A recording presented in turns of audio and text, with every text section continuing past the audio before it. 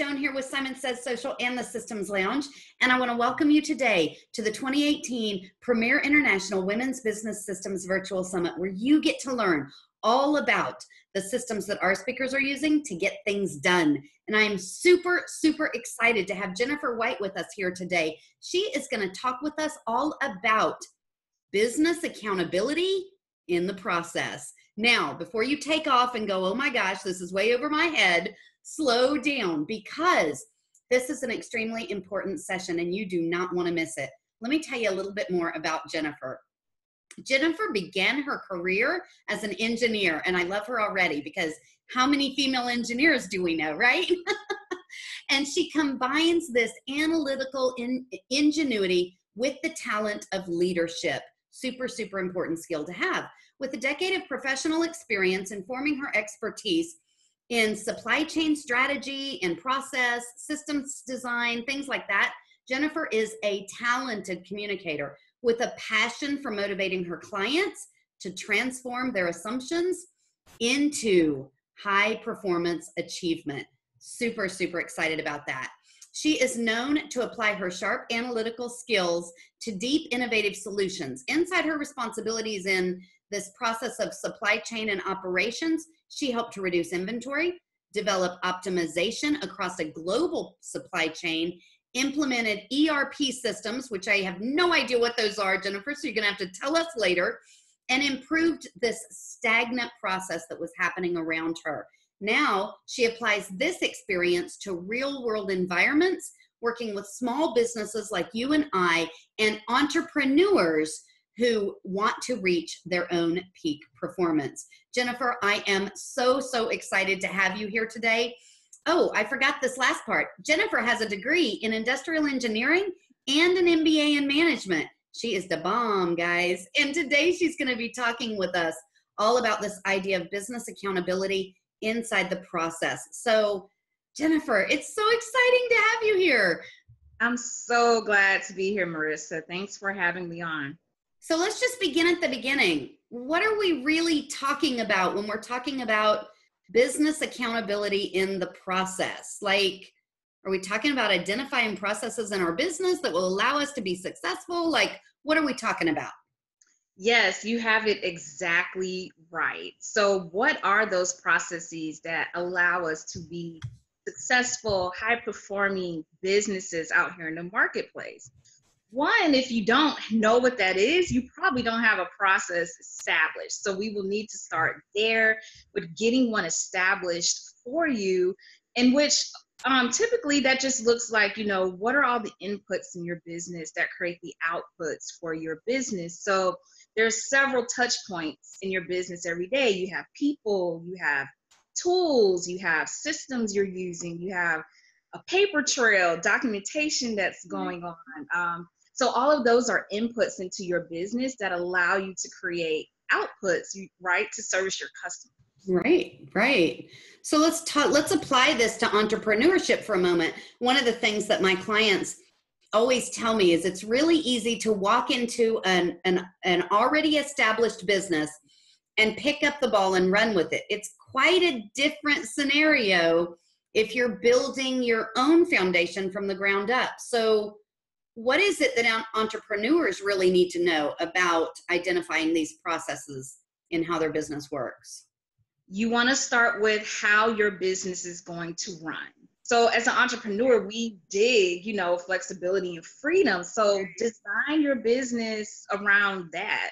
Like whatever that means to you, design it around that. So if you only want to work certain days out of the week, then you're available only on those days and you stick to that. That becomes a process, that becomes second nature in your business. So, one best things about being an entrepreneur is you set the rules. So, yeah, you come from other corporations or other um, companies you've worked at where you didn't have a say so, but now you do. So, that's the biggest part of having the freedom and the flexibility. Yeah. And and that's you know for a lot of us that's why we went into you know this idea of entrepreneurship to begin with because we knew we had a skill that we could share with the world and we wanted the flexibility that we needed you know oftentimes to be able to spend with your family or do the things that you love doing or perhaps you have a hobby that's really important to you and you want time to do that. So there's lots of different reasons that people want that freedom. So i love that you're like design your business around your life. Do not design your life around your business. Right. Yeah. So so okay. So you've convinced me. I need to work on really evaluating this process inside my business mm-hmm. where do I even begin? Like, what would be the first step? So, start with your goals and objectives in your business, right? So, from ground zero, what, why did you start this business? Surround the design of the business around why did you start the business? You should have um, your mission, your vision, all of that ties into the processes that you're going to begin to create right business. I mean, think about the businesses we interact with every day, like Apple and Google. They mm-hmm. all have a, a mission, even Starbucks. And you see that in their processes every day as we interact with those companies as well. Right, right. And I love how you begin at the beginning with a goal or a vision for your business because a lot of people kind of go into it saying, Oh, I know how to do this, so I'm just going to do this. Well, there's a lot more to developing this brand and developing this story. So you really do have to dive in to what your mm-hmm. ultimate goals are. So that totally makes sense. So let's dive into this idea of this vision for a minute. I know in the business world, we talk a lot about a vision. Like, how many of us have heard that 10,000 times, right? Oh, yeah. Is a vision for our business really all that important? Absolutely. I mean, it's going to be your bread and butter. If this is going to be your lifestyle, a part of you and who you are and the impact and legacy you want to leave in the world, yes, a vision is very important. And it's so important that you start with that. So, when I say vision, I mean, okay, how many employees do you want to have? Do you even want to have employees? Do you want to mm-hmm. stay a solopreneur? What type of customers do you like to interact with? Mm-hmm. Um, you want to be a supplier type of business, or do you want to be on the front end of a client-facing business? So those are all type of things that go into your vision, along with how much money you want to make at the end of the day, um, how much time you want to spend working in your business and on your business are things you have to decide on in the beginning as well.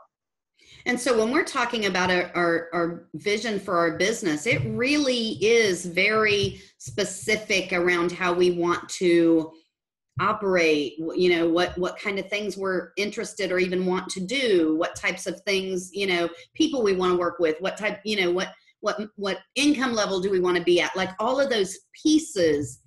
We're not talking about our life's vision. We're talking about the vision for the business, correct?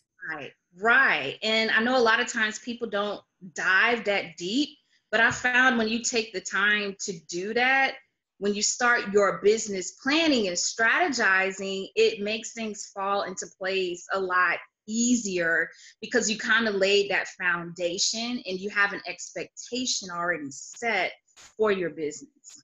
And that makes so much sense. So, for those of you out here going, Oh, I really don't want a business plan, you heard it here. yeah, I mean, it doesn't have your business plan doesn't have to be, you know, I mean, to the micro level. Right. But have some levels in in your plan. That way, you can maneuver and be flexible when things need to be adjusted. So, just because you do a business plan today doesn't mean it's set in stone forever. I mean, right. you're allowed to tweak. You're the business owner, so you right and you will evolve. I mean that's one of the very first things i learned is that you know this this process of evolution as a as an entrepreneur is almost you know relentless. Like every time i feel like okay i'm i've got this i evolve into something else that i'm even more excited or passionate about. And so you know you're constantly adding things and and subtracting things and moving things around inside your business. So there is that too you know? Exactly. Exactly. You will have shifts and pivots and yep. a lot of things thrown at you that you can't plan for. So that's part of the learning curve and and you'll learn what to do and how to react along the way. Yeah, totally. So uh, let's let's I mean, I want to dive a little bit deeper into how we truly identify our vision because I think a lot of people don't understand how much that really needs to align and translate into goals, objectives, strategies and the like for us to be able to run our business. So how do we identify a vision that then will lead us to those goals, objectives and strategies? Yeah, so as we just were talking through before, this is your business. So a lot of it is going to depend on you, right? And your lifestyle. So one thing I think heavily about all the time are my core values. So when I first was developing my foundation, I had a hard time with core values because one of the hardest questions somebody gets asked is, you know, what are your beliefs? What do you believe in? Who are you? That's a very tough question. yes, it is. It sounds simple, but it's not. Um, And I just remember my uh, my husband, who's my business partner um, in in our business. We had sticky notes. Like I literally put words on sticky notes and had them all over myself. Yeah. we were like trying to identify what that vocabulary was like what mm. what does our business mean what will it stand for and that really helped us set that vision and cast the vision um, onto you know those strategies and those goals and objectives to further enhance where we want to go and I love that you used yourself as kind of a human brain dump to really just get those phrases out there or those words out there so you could then pull from them, remove the things that aren't working and keep the ones that are. So I, I love that idea. That I could see that being a very fun workshop. I mean, some people do mind mapping as well. Like they just say the first letter or any letter in the alpha, alphabet and whatever comes out, you know, you can write down that word. Right. It's going to be something that's familiar to you, you know, yeah. or wouldn't necessarily blurt out something that you're not, you know, used to doing or used to saying or having mannerisms or characteristics about yourself. Right. And that totally makes sense. And those need to align with whatever you, you know, whatever your vision is for your business. Otherwise you're out of alignment and those, and that's like not a fun place to be. Right. Right. Yeah. Totally agree with that. So you work with a lot of your clients on what you call sustainable balance. Can you tell us what this is and how we can achieve it? Yes, sustainability, it goes right along with repeatability. So once you have a process in place, how well can you perform that process from beginning to end over and over and over again? And then while you're performing it, how well is it being maintained? So this goes back into the processes that you create. One, you need to identify the process. So you need to document what you're doing. Right. Because if you can't um, express it every single time. Say you have a customer come through. If every customer is having a different client experience at the end of the day, there's something wrong. Yeah. You're not capturing the true essence of your process because you want your customers to have a certain expectation around you and it's the same for them so you want them to come back to you and keep having that same experience because once they don't have that same experience they may not do business with you anymore. Right, right. And I, and I, you know, so let's just take one of those processes, for example. Let's take the onboarding process, right? Mm-hmm. You know, of of pulling your clients in for the first time. This is the first time they they are aware of you, and now they're taking the first move to initiate this connection with you. And if it's all over the place, they're not going to feel like you've got their back. You've got their best interest at heart, or they're a VIP in your company, right? Right. And this goes with the learning curve. Like I know when we first started out, there were quest- common questions that would keep coming to us. So that told me, okay, you have an outlier here. There's something you're not addressing in the process during you know the client onboarding piece or whatever piece of the process you're going to notice those common trends and things that stand out to where you can tweak and, and fix that. But you have to be noticing it. Like yeah. you have to put on your guards as as a not just a business owner of being in the details, but sometimes you got to come up here to the 30,000 foot level to understand what's happening holistically. Right. That totally makes sense too. And I love that analogy. So, one of the other things that you work with your clients on is what you call establishing performance measures. And we, we sort of kind of started alluding to those. But can we go into a little deeper? What are performance measures and how do we use them? Yes, performance measures are metrics that pretty much tell you if you're on target or not. So again, it goes back to tracking and documenting what you're doing. So if you have a, um, let's say you had a product-based business, for instance, and you're tracking, okay, how many units am I selling of product A versus product B every month? Right. So typically you would want to forecast what we used to call in supply chain. You yep. want to forecast how many units are we projected to sell in the month of March. And then when the actuals from March come in, you'll know, okay, we are on target or we were off target. You know, uh, you can either be plus or minus from the baseline that you set. So those are performance measures that can capture the true essence of what's going on in a snapshot in time. Yeah. And like I said, you can you can be plus, you can be minus. It just depends on where you want to be. Sometimes it may be okay to be a little bit low if you know you had inventory issues on that product. So right. it may not, you know, that product may not matter as much as product A in the long run. Yeah.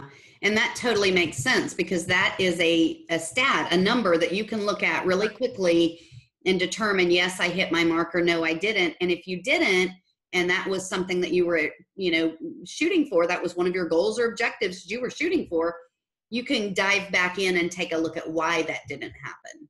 Exactly. And that's that's definitely what you want to do. Like yeah. numbers don't lie. I always right. tell people who are afraid of statistics and quantification. I was like data tells you the truth. Like there's no fudging here. Yep. And it doesn't discriminate. It does not care if you were homesick right so I know we are going to be diving much, much deeper into the next interview about this accountability in the process, but is there anything else we need to know right now? Um, I would just say if you're leery about knowing what kind of process to track, start writing down every kind of task that you do in your business. Mm-hmm. And if you start quantifying like where you're spending a lot of your time, and you have to focus a lot on it, that may be a process you need to, you know, extrapolate a little bit more and dive into to see why am I spending so much time on this particular process? Is there anything I can adjust or tweak or introduce into the overall system to make a change? Mm. Um, so I would say just start there and processes are fun. Like I I love them. I'm an analytical nerd and I love analyzing processes and people and systems. So yeah, don't be afraid of them. Okay, cool. Awesome. Well, that leads me to my last question for you. How can people reach out to you if they want to perhaps get you to analyze all this for them and, and geek out on all of that? Or access some of your resources or you know perhaps even work with you how can they reach out to you?